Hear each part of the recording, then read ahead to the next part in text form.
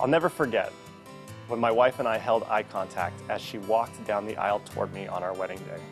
She looked perfect. Her smile lit up the whole garden.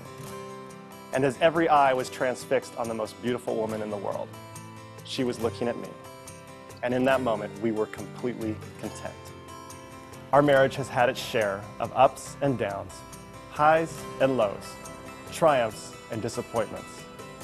Some of the best days of my life have been traveling the world with Kimmy, laughing at the most ridiculous things, and exploring God's wondrous creation. But it's in the valleys that the value of holy matrimony truly shines. You see, Kimmy is still there after I preach a bad sermon. Kimmy's still there when I've made a fool of myself. Kimmy's still there even when I'm sick and I'm full of disgusting germs. It is in these moments when marriage truly shines. I think of God going to Adam and seeing him and saying, It is not good for this man to be alone.